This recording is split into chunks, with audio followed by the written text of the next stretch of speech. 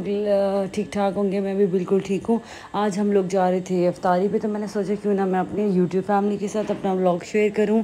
और मैंने ये जो है, ये छोटी छोटी क्लिप्स आप लोगों के लिए बना ली थी।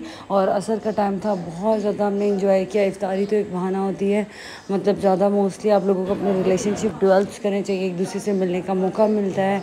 और अफ्तारी में हमने बहुत डिलीशियस सी चीज़ें खाई और नमाज़ पढ़ी और बस ऐसे ही सब कुछ चलता रहा। आप लोग बताएँ, आप लोग ठीक हैं? आप लोगों ने ईद की शॉपिंग कर ली है और इन आने वाले वक्त में बहुत ज़्यादा मज़े मज़े के ब्लॉग्स आएँगे।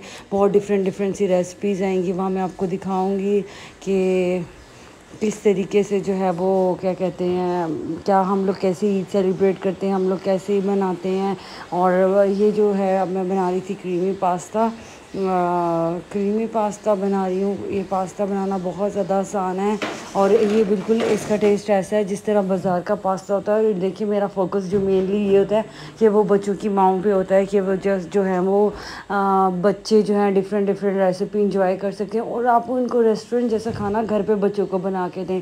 बच्चे जो हैं वो खाएँ। अच्छा इसके लिए मैंने सबसे पहले जो है एक साइड पर पानी में पास्ता डाल के एक चम्मच नमक और एक चम्मच ऑयल का डाल के आपने इसको अच्छी तरीके से बॉयल कर लेना दूसरी दूसरी तरफ़ आपने कढ़ाई ले लेनी है और कढ़ाई में आपने ऑयल नहीं इस्तेमाल करना बटर इस्तेमाल करना। है बटर आपने डाल देना है। बटर जैसे ही घुलेगा आपने जैसे ही ये डिज़ोल्व होगा तो आपने साथ ही इसके अंदर वो डाल देना है, मैदा डाल देना है। और ये बहुत मज़े का और बहुत झटपट बनने वाला ये पास्ता है।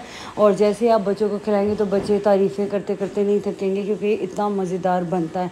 ये बड़े नहीं छोड़ेंगे तो बच्चे तो खैर फिर दूर की बात है। तो जैसे ही देखिए, मेरा जो बटर है, ये डिज़ोल्व होगा। साथ ही मैंने इसके अंदर दो बड़े चम्मच, दो टेबल स्पून मैंने इसके अंदर मैदे के ऐड कर देने हैं।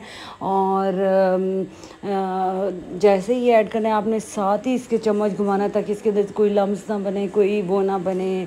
क्या कहते हैं क्या कहते हैं कोई गुटलियाँ वगैरह ना बने।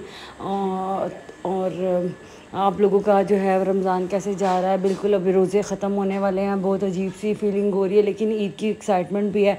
इन मैं आप लोगों को आने वाले वक्त में दिखाऊँगी ब्लॉग्स में दिखाऊँगी कि हम लोग अपनी चाँद रात कैसे सेलिब्रेट करते हैं।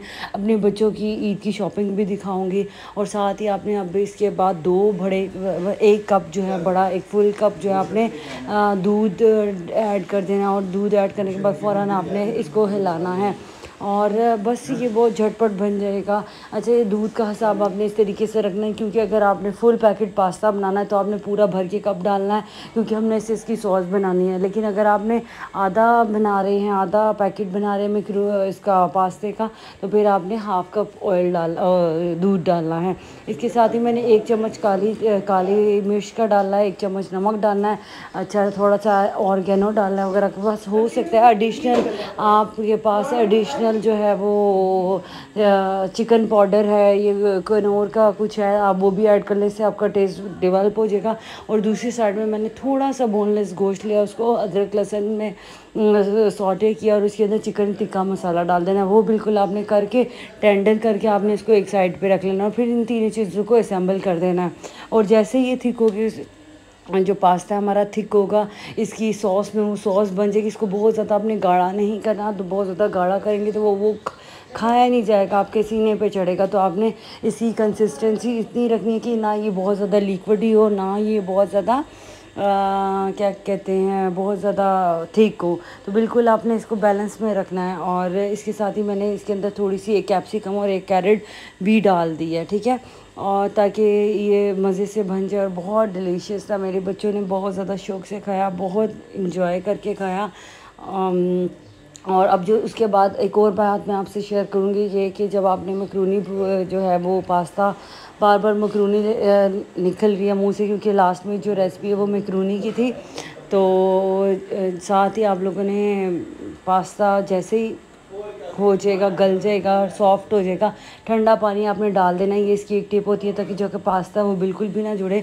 और जैसे ही ये सॉस मेरी थोड़ी सी थी हुई मैंने ये पास्ता इसमें ऐड कर दिया, उसको अच्छी तरीके से हिलाया है, और इसी के अंदर मैंने चिकन भी शामिल कर दिया। आई होप आप लोगों को मेरी वीडियो अच्छी लगेगी। This is the